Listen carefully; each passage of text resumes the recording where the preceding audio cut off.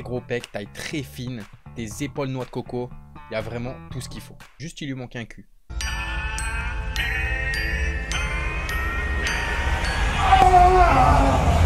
Salut les guerriers, bienvenue sur Fitness Fusion. On est là pour faire des fusions tout seul aujourd'hui. Donc voilà, vous vous en doutez, je suis tout seul aujourd'hui. On n'est pas avec Gigio. Lui aura déjà tourné sa vidéo lorsque moi je ferai la mienne. Donc vous verrez, on a plus ou moins tous les deux un objectif similaire. Mais avant de passer à cette vidéo, je voulais revenir rapidement sur une vidéo, celle de la sèche qui a fait énormément de vues et j'ai eu pas mal de commentaires assez négatif entre guillemets parce que ça parle de dopage, ça parle de prendre des produits, ça parle de 11 kilos en 3 mois, c'est pas normal. Donc je voulais revenir rapidement sur cette vidéo pour ceux qui me suivent pas sur Instagram, n'hésitez pas, elle va s'afficher juste en dessous. Vous verrez sur mon Instagram ma base part de 74 kilos sans musculation ventre plat, donc une très bonne base. Vous aurez les photos directement sur Instagram. Si vous ne me croyez pas, n'hésitez pas à y aller. Et voilà, il y en a qui sont vus le avant-après. Vous pensez vraiment que je suis passé de 97 kg, comme vous l'avez vu, à 85 kg en seulement 3 mois de musculation, que j'avais jamais fait de musculation avant. N'oubliez pas que ça fait quand même 4 ans et demi, 5 ans que je m'entraîne.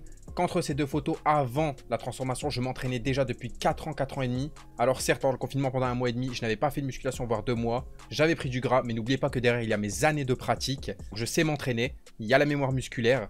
Je suis passé d'une alimentation très grasse et très dégoûtante à une alimentation très propre. J'ai donc donné à mon corps tous les nutriments nécessaires à progresser très rapidement. J'ai fait des choses vraiment très bien. Donc si pour certains c'est assez choquant que j'arrive à 85 kg assez propre, moi personnellement je ne trouve pas. Toujours sur Instagram vous verrez des photos de moi il y a un an et demi. J'étais à 83 kg assez propre. Donc entre deux, en un an et demi j'ai gagné à peine 2 kg, ce qui n'est clairement pas énorme. J'ai clairement atteint ma limite depuis un moment. Et voilà, je voulais juste vous faire passer le message. Pour tous ceux que ça surprend, pensez à vous entraîner comme le numéro 1 si vous voulez être le numéro 1. C'est pas en mangeant des trésors devant Galactic Football que vous allez progresser. Faites les choses bien et vous verrez que tout de suite vous serez beaucoup moins surpris par ma transformation. Bref, on va donc pouvoir attaquer la vidéo. Comme on l'avait dit avec Jijo, notre but à nous, c'est de mettre en PLS Bazinga. Donc Jijo sur le côté esthétique, moi ce sera sur le côté performance, d'où le but de cette série-là où je vais essayer de devenir le plus puissant du feed game. Donc Alex Levent qui compare Bazinga au Broly du feed game, je vais vous montrer que Broly c'est rien du tout à côté d'un Vegeta qui travaille dur à côté. Donc voilà, mon but c'est clairement de le rattraper moi sur le côté performance, ça va, honnêtement je vous le dis, ça va pas être très très facile. Et Jijo sur le côté esthétique, par contre là j'y crois à 300% comme dirait un certain monsieur.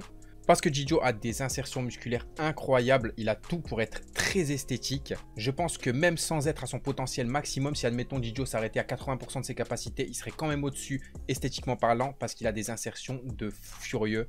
Très gros pec, taille très fine, des épaules noix de coco.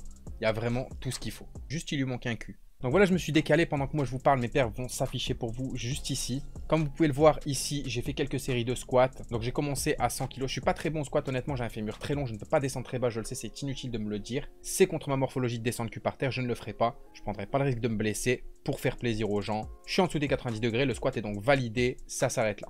Donc vous voyez que je commence à 100 kg, puis ensuite je crois que je passe à 120 kg, puis à 140 kg. Sur les 140 kg, vous allez voir que j'arrive à taper les 6 répétitions. C'est pas énorme 6 répétitions à 140 kg. Comparé à un Basinger qui a donc un maxi à lui 200 kg. Mon plus gros maxi que j'ai fait moi, c'est 180 kg. La vidéo est disponible sur la chaîne, n'hésitez pas à aller la voir. C'est, je crois, Endurance vs Puissance ou un truc comme ça qu'on a fait avec s'affichera juste ici. Vous aurez aussi donc mes perfs au coucher qui vont continuer de s'afficher pendant qu'on dit. Basinger a lui un max à 160 kg. Je l'ai déjà battu là-dessus. J'ai un max à 170 kg.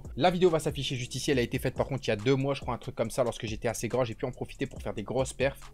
Quand on en sèche, on sait très bien qu'on perd en force. J'ai perdu en force. J'ai tout de même fait un maxi à 160 qui va continuer. Ici, ça va tourner, ça va s'afficher, vous inquiétez pas. Arrête de me regarder comme ça.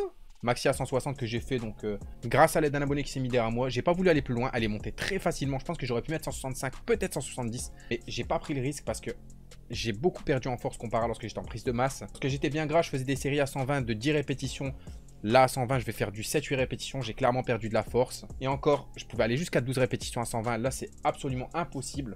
En ce qui concerne le soulevé de terre, je n'ai pas fait de maxi depuis bien longtemps. Je me suis entraîné récemment. J'ai fait 4 reps à 180. J'en ai vraiment, vraiment chié fut une époque où j'enchaînais 6 répétitions à 200 kg. C'était incroyable. Je pense que là, j'aurais pu tester un petit maxi à 2,42,50. Mon plus gros maxi est à 245 au soulevé terre. J'ai jamais fait plus que ça. Monsieur Bazinga est à 260 kg. Donc le monsieur, il est bon partout. Hein. Lui, il n'a pas le temps. Excuse-moi. C'est pas je suis fort au coucher. Il est fort partout.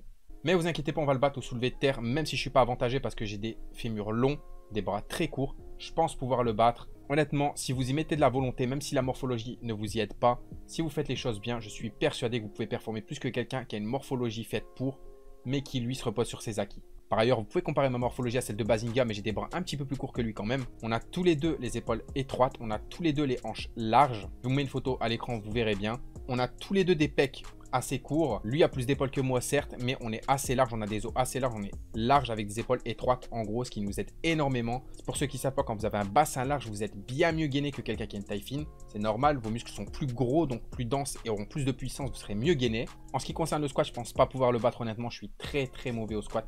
Pourtant, je me la bute au squat et je suis une bite sur patte.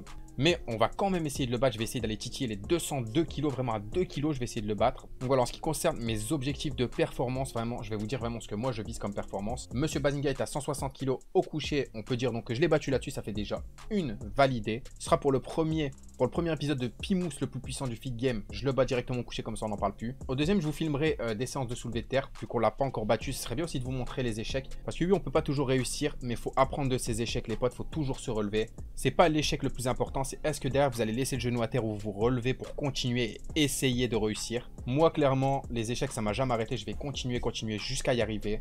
Si je dois laisser un genou, un ménisque, un bout de dos, je veux rien savoir, je vais y arriver. Donc voilà, je considère que Bazinga est le plus puissant du feed game à l'heure actuelle. Sauf au développé couché, voilà, on est là. Hein.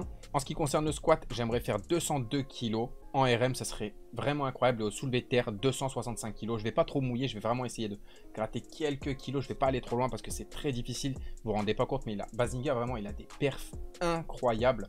Est-ce que Bazinga est nati? À mes yeux, je pense qu'il est nati simplement parce que le monsieur a quand même un très très gros passé sportif. Il ne faut pas l'oublier. On parle d'un gymnaste de haut niveau qui a fait du poids de corps, qui avait déjà un physique extraordinaire pour du poids de corps, qui mettait gens en PLS 80% des pratiquants juste avec du poids de corps.